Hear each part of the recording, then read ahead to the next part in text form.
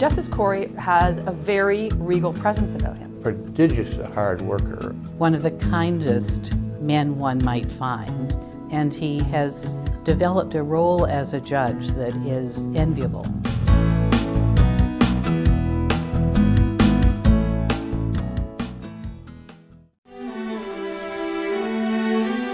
In the service, I was called as a, as a witness on a military tribunal process.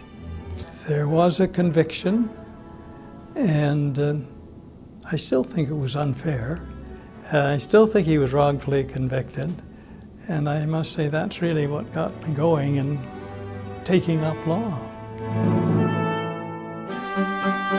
The Honourable Peter Cory, without doubt, is one of the most eminent alumni of Osgoode Hall Law School and its whole distinguished history.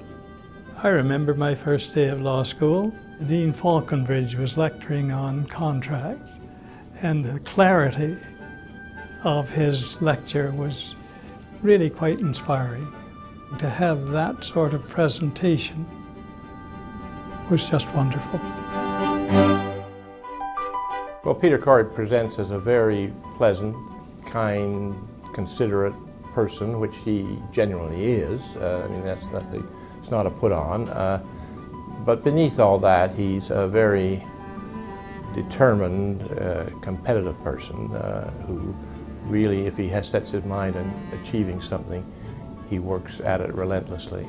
He has wonderful personal qualities, and among them are his respect for people and his empathy for people which is uh, when you combine that with his passion for fairness, he was an excellent person to appoint to the Supreme Court of Canada as it was addressing its important jurisdiction under the Charter of Rights and Freedoms. He was a dream boss. He involved us in every aspect of his job, involved us in the issues that he was concerned about, involved us in the job that he did, and it really felt like a group effort as opposed to a boss giving instructions to one of uh, his employees.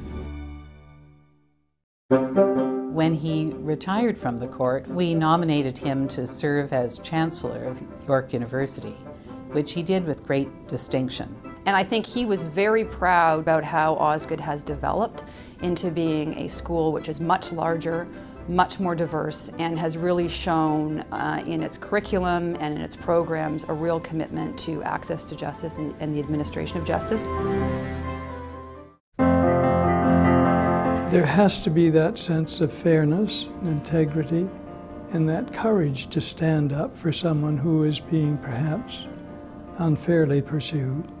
That you will be a fair judge, because that's the greatest attribute of any judicial officer.